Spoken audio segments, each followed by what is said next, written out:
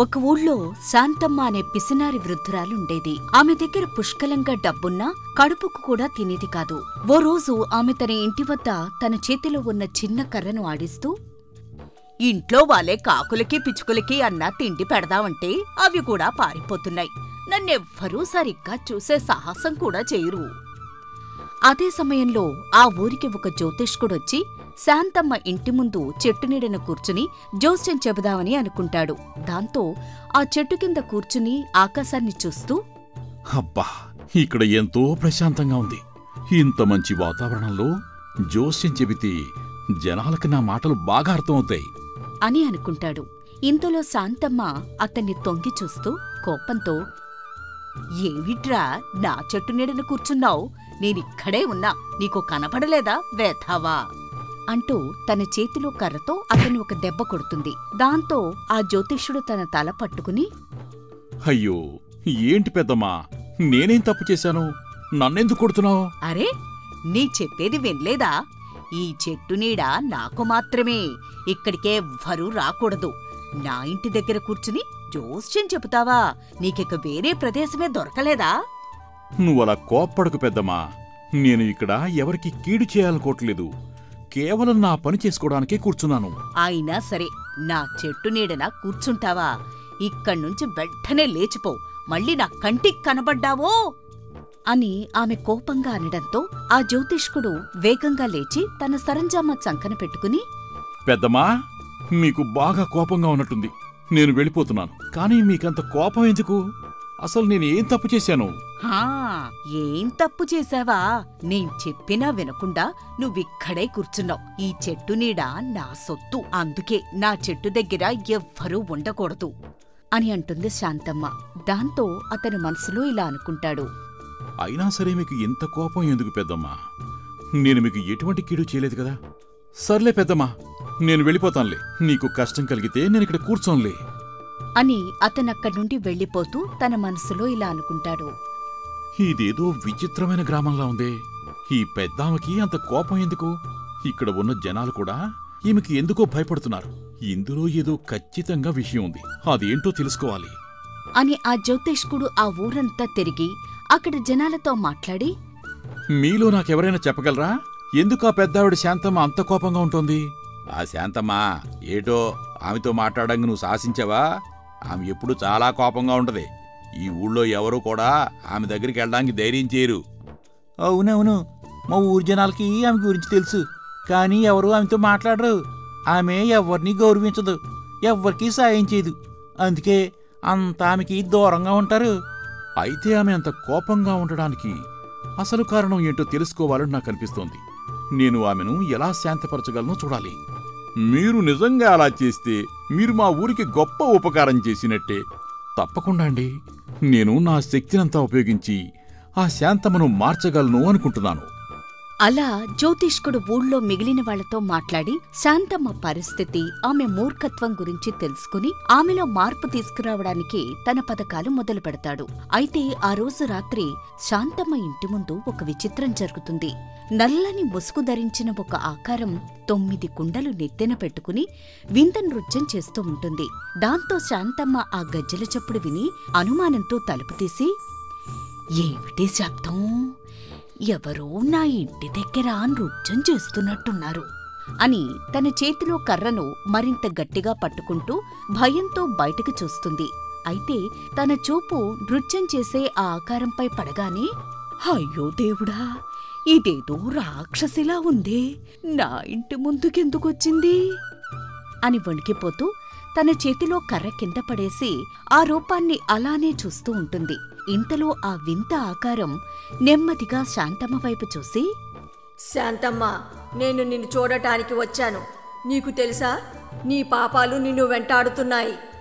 అని అంటుంది.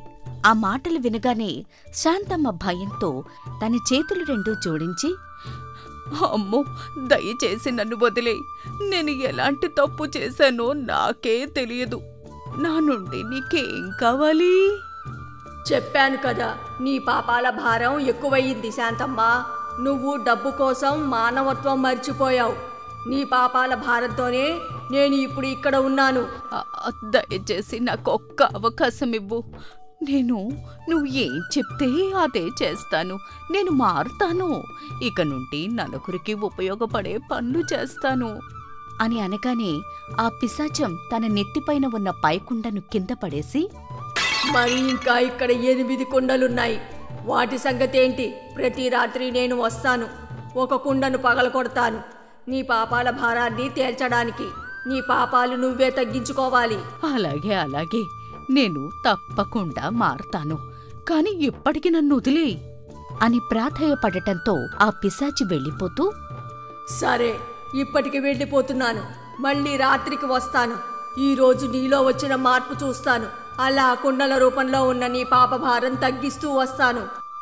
అని ఆకారం అదృశ్యమవుతుంది. అప్పుడు శాంతమ్మ వెంటనే తలుపులు మూసుకుని వణుకుతూ తనకు జరిగిన దాన్ని మర్చిపోలేక రాత్రంతా భయంతో నిద్రపోదు. మరుసటి రోజు రాత్రి జరిగిన సంఘటన గురించి అర్థం చేసుకోలేక శాంతమ్మ చాలా మందిని అడుగుతుంది. అలా పక్కింటి పెద్దమ్మకు జరిగింది చెప్పి కమలమ్మ అదే రాత్రి జరిగిన వింత. అసలు ఆ పిశాచం గురించి నీకేమైనా తెలుసా? ఏమో శాంతమ్మ పిశాచం కనబట్టవేంటి? అయినా నువ్వు ఏదో భ్రమపడుంటావు. లేదు కమలమ్మ నాకు నిజంగానే ఏదో జరిగింది. రాత్రి ఒక పిశాచం నృత్యం చేస్తూ నన్ను భయపెట్టింది. దాని అర్థం ఏమిటో తెలియటం లేదు. ఏమిటి? ఈ వయసులో నువ్వు పిశాచాల కథలు చెప్పడం విడ్డూరంగా ఉంది. నావి కథలు కావు. నిజంగానే నిన్న రాత్రి నా ఇంటి ముందు ఒక పిశాచం వచ్చింది. దానికి అర్థం నీకేమైనా తెలుసేమోనని అడుగుతున్నాను. అలా పిచ్చి పిచ్చి ఆలోచనలు చేయకుండా ముందు ప్రశాంతంగా నిద్రపో. నిద్రలో అన్నీ సర్దుకుంటాయి. రాత్రంతా నిద్ర లేకపోవడం వలన వచ్చిన సమస్య అయి ఉంటుంది ఇది. అని అంటుంది ఆ పక్కింటి కమలమ్మ. అయితే తాను చెప్పేది ఎవరూ అర్థం చేసుకోవడం లేదని విసిగిపోయిన శాంతమ్మ కమలమ్మతో మళ్ళీ ఇలా అంటుంది. అది కాదు కమలమ్మ. అందరూ ఎందుకింత నిర్లక్ష్యంగా ఉన్నారు? నేను చెప్పేది నీకెందుకు అర్థం కావడం లేదు? అసలు నాకేం చెయ్యాలో కూడా తెలియడం లేదు. ఆ పిశాచమా నన్ను వదలదు. ఆ పిశాచము ఉందే అనుకుందాం. అది నీతో మాట్లాడింది అంటున్నావు మరి దాని నుండి బయటపడే మార్గం కూడా నువ్వే కనుక్కోవాలి కదా. నన్ను అడిగితే నేనేం చేస్తాను చెప్పు. సరే అయితే నేనే ఆ మార్గమేదో కనుక్కుంటాను. నా సమస్యకు సమాధానం నేనే తెలుసుకుంటాను.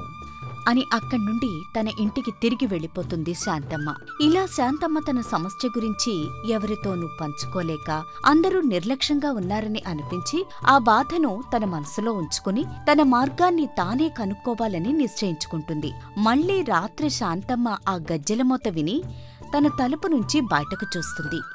ఈసారి పిశాచి నెత్తిన ఎనిమిది కుండలే ఉంటాయి. దాంతో శాంతమ్మ వణికిపోతూ ఇక ఈ రోజు ఏం జరుగుతుందో తెలియటం లేదు.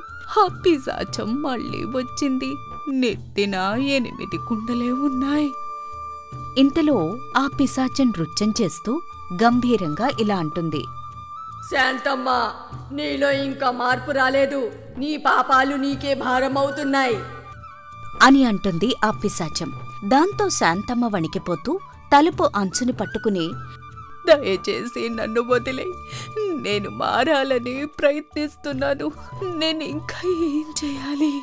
నీ మనసులో మార్పు రావాలి శాంతమ్మ. నీ డబ్బులు మంచిగా వినియోగించు. నీ చుట్టూ ఉన్న వారికి నీకు చేతనైన సహాయం చెయ్యి. అలాగే అలాగే. నేను దానాలు చేస్తాను. నా సొమ్మంతా మంచి పనులకు ఖర్చు చేస్తాను. కానీ నన్ను వదిలిపెట్టాయి నన్ను వదిలిపెట్టాయి అని అనడంతో ఆ పిశాచం తన నెత్తి మీద ఉన్న మరో కుండను కింద పడేసి శాంతమ్మ నీలో మార్పు చూపించు.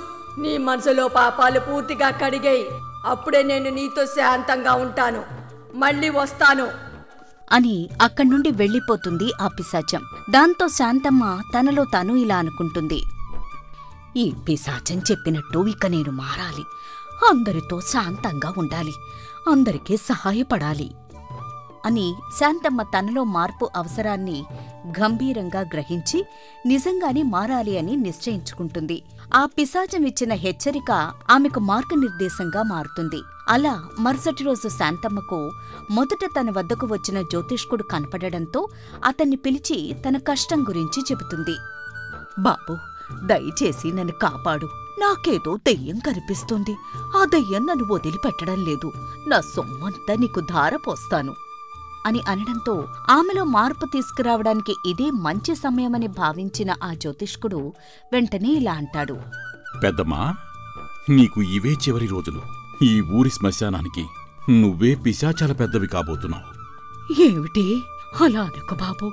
దయచేసి నన్ను రక్షించు. నేను నా జీవితాన్ని మార్చాలనుకుంటున్నాను. నువ్వు చెప్పినట్లే వింటాను.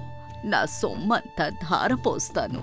పెద్దమ్మా నువ్వు ఇంతకాలం ఏం చేశావో నీకు తెలుసు. నీలో మానవత్వం చంపి డబ్బు కూడబెట్టావు. ఆ డబ్బు ఎప్పుడు నిన్ను సంతోషంగా ఉంచదు. అయితే ఇప్పుడు నేనేం చెయ్యాలి? ఎలా ఈ పిశాచం నుంచి తప్పించుకోవాలి? ఇంక చేయడానికే ఉంది. నువ్వు ఎలాగో చనిపోయి పిశాచం కాబోతున్నావు కదా. అందుకే అంతకంటే ముందే నీ డబ్బును మంచిగా ఖర్చు చేసి మంచి పనులు చేయి. నలుగురికి సాయం చేయి. నీ కష్టాన్ని పంచుకుని పాపాల భారాన్ని తగ్గించుకో. అవునవును నేను మారితే ఆ పిశాచం నన్ను వదిలేస్తాను అంది. కాని నాలో మార్పుని ఎలా చూపించాలో నాకు తెలియటం లేదు. సరే అయితే ఇక నుండి నేను చెప్పినట్టు చెయ్యి. నీ దగ్గర ఉన్న డబ్బు నీకే కాదు ఈ ఊరికి కూడా ఉపయోగపడే విధంగా ఖర్చు చేయి బిచ్చగాళ్ళకు దానాలు చేయి దేవాలయాలు కట్టించు నీటి బావులు తవ్వించు. నువ్వు ఎంత ఎక్కువగా మంచి చేస్తే నీ పాపాలు అంత త్వరగా దూరం అవుతాయి అలాగే ఇక నేను మారతాను. నా జీవితాన్ని పూర్తిగా మార్చుకుంటాను. నా డబ్బు మంచికే ఉపయోగిస్తాను. నువ్వు తీసుకున్నది మంచి నిర్ణయం పెద్దమ్మా. నీ మార్పు నీకు మాత్రమే కాక నలుగురికి మేలు చేస్తుంది. నీకు మనశ్శాంతి లభిస్తుంది. అప్పుడు ఆ పిశాచి నిన్ను వదిలి వెళ్ళిపోతుంది. అవునవును. నేను నిజంగానే మారుతాను. నా జీవితం మొత్తాన్ని సరిచేస్తాను. నా పాపాలన్నీ కడిగేసుకుంటాను. అలా శాంతమ్మ తాను ఎలా మారాలో ఆ జ్యోతిష్కుడి నుంచి ఉపాయం పొంది దానికి తగ్గట్టుగా తాను మారి తన పాపాలను కడిగేసుకోవడానికి సిద్ధపడుతుంది. అలా శాంతమ్మ ఆ జ్యోతిష్కుడి మాటలు గుర్తు చేసుకుంటూ అనేక మందికి సహాయం చేయడం మొదలుపెడుతుంది అలా బిచ్చగాళ్ళకి పశువులకి పక్షులకి దానం చేస్తూ ఇదిగో నన్నెవ్వరూ నమ్మడం లేదు కదూ. నేను మారాను. ఇక నుండి మీలో ఎవ్వరైనా మా ఇంటికి రావచ్చు. మీకు కావలసిన సాయం పొందొచ్చు. చాలా సంతోషం తల్లి. నీలో వచ్చిన మార్పు నీ మంచితనం మాకు బాగా ఉపయోగపడుతుంది తల్లి. నువ్వు ఇలాగే ఈ ఏళ్ళు చల్లగా ఉండాలమ్మా. అని అనడంతో వారి సంతోషం చూసి శాంతమ్మ ఆనందంగా ఇది కేవలం మొదలు మాత్రమే. నా జీవితం మార్చడానికి ఇది మొదటి అడుగు. అలా శాంతమ్మ పూర్తిగా కోపాన్ని వీడి తనకున్న దానితో నలుగురికి సాయం చేయడం మొదలుపెడుతుంది. ఇక ఆ రోజు రాత్రి నుండి ఆ పిశాచం రావడం కూడా మానేస్తుంది. ఇక ఆమె ద్వారా సాయం పొంది ఆ ఊరి ప్రజలు ఆమెను పొగడ్తలతో ముంచెత్తుతారు. అప్పుడు అక్కడికి వచ్చిన ఆ జ్యోతిష్కుడు ఇలా అంటాడు. పెద్దమ్మా నీలో వచ్చిన ఈ మార్పు నిజంగా గొప్పది. నువ్వు చేసే పనులు నలుగురికి మేలు చేస్తున్నాయి. ఇప్పుడు నువ్వు పూర్తిగా మారిపోయావు. ఇంక ఎప్పుడూ ఆ పిశాచం నీ దగ్గరికి రాదు. అలా శాంతమ్మలోని మార్పు తన జీవితాన్ని తన ఊరిని పూర్తిగా మార్చేస్తుంది. ఆమె చేసిన మంచి పనులు అందరికీ ఆదర్శంగా నిలుస్తాయి. తన మార్పు ద్వారా మళ్ళీ కొత్త జీవితం ప్రారంభిస్తుంది.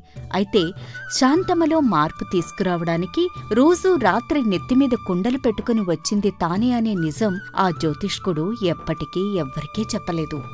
ఈ కథ మీకు నచ్చినట్టయితే మా ఛానల్ సబ్స్క్రైబ్ చేసుకోండి. అలాగే ఈ వీడియో షేర్ చేయటం లైక్ చేయటం మర్చిపోకండి.